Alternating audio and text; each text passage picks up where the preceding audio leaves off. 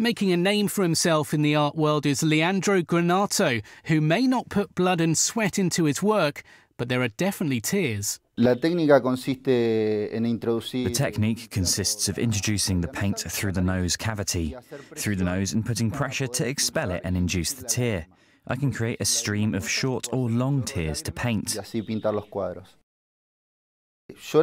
baptized it as an optical painting, and for me it's like crying every painting.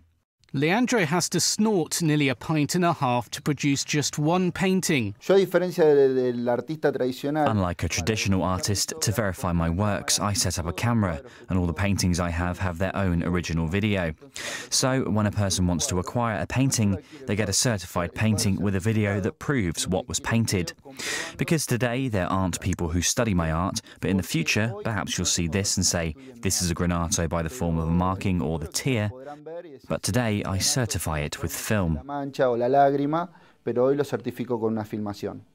The watercolour paints have a special formula which don't damage Leandro's eyes, and his style of painting has caught the eye of many around the world, with his creations attracting eye-watering price tags of thousands of dollars.